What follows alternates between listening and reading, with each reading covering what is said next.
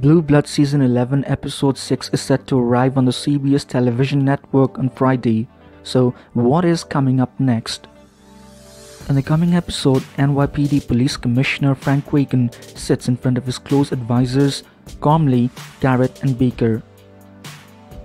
They all have to make a big decision as they sit and discuss how to handle a police precinct in disarray. Frank deals with the police captain who lost his grip over his precinct. This puts the character in a position where he has to decide what to do here.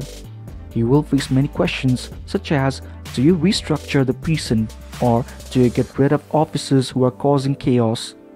Here the advisor really comes into play. The advisors will put their views in front of Frank. Either of these points will work or not. Frank gets the final say on everything at the very end. However, we are sure that there will be some solution to this problem by the end of the episode. This is always the case within the Blue Bloods world.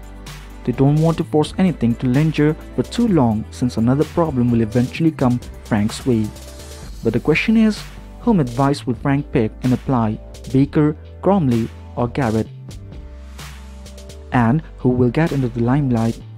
In the coming episode, there's a twist and turn ahead the Reagans have to make a hard choice in the job. Danny will face backlash from his partner, Maria. Eddie and Jamie will be working together in a specific mission.